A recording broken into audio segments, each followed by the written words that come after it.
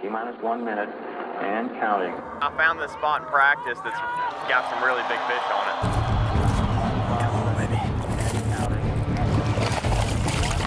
You know they're sitting up there. There we go. 27 pounds, 4 ounces. Yeah. Yes. That spot just happens to be one of those special places. The biggest bag of the tournament on Championship Sunday. Yes. Yes. Good things happen yesterday afternoon. How about it? Yes, sir. I'm in shock. I can't believe it.